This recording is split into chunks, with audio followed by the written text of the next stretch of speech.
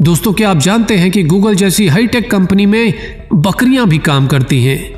जी हाँ trillion dollar company Google जिसकी गिनती दुनिया की सबसे हाईटेक कंपनियों में होती है, वहाँ गूगल के कैलिफ़ोर्निया स्थित हेडक्वार्टर में जब भी घास बढ़ जाती है, तब बजाय आधुनिक मशीनों की उनकी कटिंग करने के बजाय बकरियों को इस काम पर लगा दिया जाता है।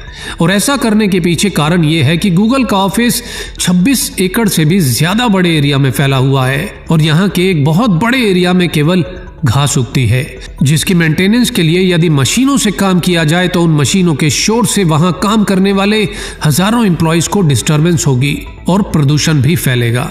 इसलिए घास कटिंग और मेंटेनेंस के लिए गूगल हर बार एक हफ़्ते के लिए 200 बकरियों को हायर करता है।